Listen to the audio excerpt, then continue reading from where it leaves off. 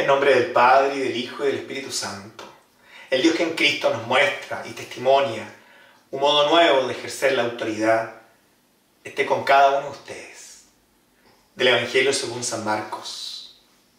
Jesús entró en Cafarnaún y cuando llegó el sábado fue a la sinagoga y comenzó a enseñar. Todos estaban asombrados de su enseñanza, porque les enseñaba como quien tiene autoridad y no como los escribas. Y había en la sinagoga un hombre poseído de un espíritu impuro que comenzó a gritar, ¿qué quieres de nosotros, Jesús Nazareno? ¿Has venido para acabar con nosotros? Ya sé quién eres, el santo de Dios. Pero Jesús lo increpó diciendo, cállate y sal de este hombre. El espíritu impuro lo sacudió violentamente y dando un alarido salió de ese hombre.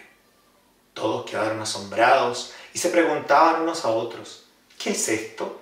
Enseña de una manera nueva, llena de autoridad, da órdenes a los espíritus impuros y estos le obedecen. Y su fama se extendió rápidamente por todas partes, en toda la región de Galilea.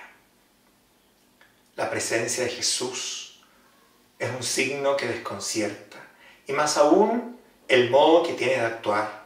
Es una autoridad que no se ha conocido en Israel, no viene por decreto, no viene por una imposición de poder, nunca recurre al autoritarismo.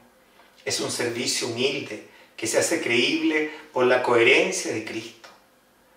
Enseña de una manera nueva, llena de autoridad.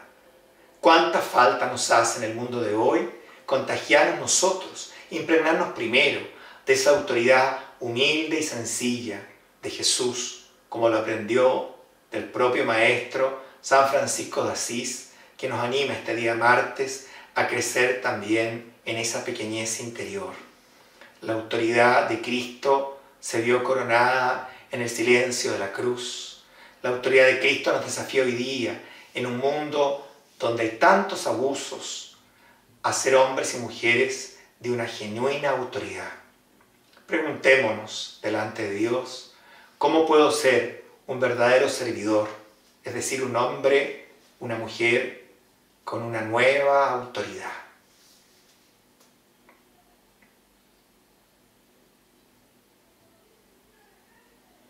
Creo, Jesús mío, que estás real y verdaderamente en el cielo y en el santísimo sacramento del altar.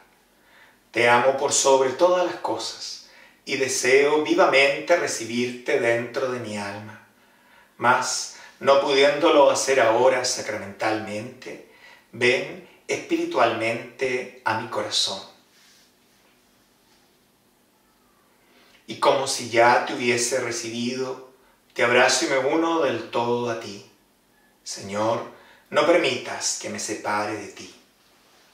Que la bendición de aquel que es Padre, Hijo y Espíritu Santo les enseñe el camino de la autoridad y les acompañe siempre.